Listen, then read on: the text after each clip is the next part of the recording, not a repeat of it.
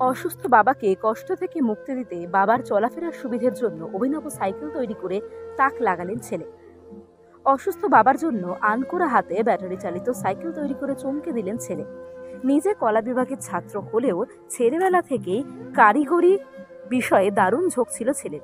আর ওই কারিগরি বুদ্ধিকেই কাজে লাগিয়েই কেল্লাফতে করেছেন প্রতীক পাল। ব্যাটারিওয়ালা সাইকেলটি বানালাম। আমার বাবা দু হাজার আঠেরোতে পা ভেঙে যাওয়ার পরে হাঁটতে চলতে অসুবিধা হতো। জায়গায় প্রায় এক থেকে দেড় বছর বাবা বিছনায়। তো তারপরে একটু সুস্থ করে যে না, টুকটাক এদিক সেদিক যেতে হয়, বাবাকে খুব দরকারে যেতে হয়। সেই জন্য বড় যেটা আছে, সেটা চালাইতে খুব অসুবিধা হয়, হাঁটতেও অসুবিধা হয়। কোনো জায়গায় যেতে পারে না। গাড়ি ঘোড়া তো ঠিক আছে, কিন্তু সবসময় গাড়ি ঘোড়া অ্যাভেলেবেল নাও থাকতে পারে। সেই জন্য আমি চিন্তা করলাম যে বাবার জন্য একটা এমন একটা কিছু বানাই যে সাইকেলের মধ্যেই চলবে যাতে বাবার কোনো পরিশ্রম না হয়।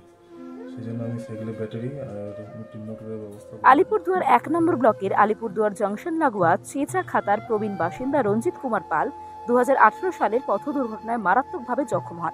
ভেঙে যায় পা এবং কোমরের চোটে কাবু হয়ে দেড় বছর বিছানায় পড়ে থাকেন তিনি। তিনি পরিবারের একমাত্র উপার্জনশীল ব্যক্তি হওয়ায় অনটন বাড়তে শুরু করে সংসারে। তাতে কলেজের পাঠ চোখাতে হয় ছেলে প্রতীককে। দীর্ঘ সময়ের পর খানিক সুস্থ হয়ে উঠলেও চলাফেরার ক্ষমতা প্রায় হারিয়ে ফেলেছিলেন বাহাত্তর বছরের হার্ডওয়্যার ব্যবসায়ী রঞ্জিত বাবু বাড়ি থেকে তিন কিলোমিটার দূরে নিজস্ব দোকানে পৌঁছতে গিয়ে নাকাল হচ্ছিলেন ওই বৃদ্ধ। বাবার ওই অসহায়তা দেখে নিজের বুদ্ধিতেই ব্যাটারির সাহায্যে মোটর চালিত সাইকেল গড়ার মতলব আঁটেন ছেলে প্রতীক। প্রায় সামান্য খরচে তৈরি হয় ওই সাইকেল।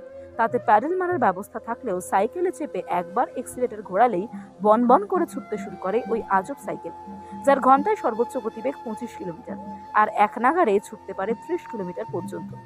ছেলের তৈরি করা ওই সাইকেলে চেপেই প্রায় বিনা কষ্টে এখন দিনভর চক্কর কাটেন বৃদ্ধ বাবা। হ্যাঁ কোমরের যন্ত্রণা আমার অ্যাক্সিডেন্ট হওয়ার পরে থেকে আমার ছেলে এই ধারণা হয়েছে যে বাবাকে কীভাবে রিলিফ দিতে হয়। হ্যাঁ যাতে খাটনিটা কম হয় তার জন্য ছেলে চেষ্টা করে এই সাইকেলটা তৈরি করে। এখন চালিয়ে কেমন লাগে এখন চালিয়ে আমার খুব আরাম হচ্ছে খুব ভালো লাগছে। খাটনিটা কমে গিয়েছে ব্যবসার জায়গায় যাওয়া আসা থেকে নিত্যদিনের কাজের সঙ্গে স্বয়ংক্রিয় ওই সাইকেলই এখন প্রিয় বাহন হয়ে উঠেছে রঞ্জিত বাবু। তাকে লাচারি থেকে খানিক মুক্তি দিতে পেরে অনেকটাই নিশ্চিন্ত ছেলে প্রতীক। ফালাকাটা থেকে Arunangshu Maitra report U Bangla TV.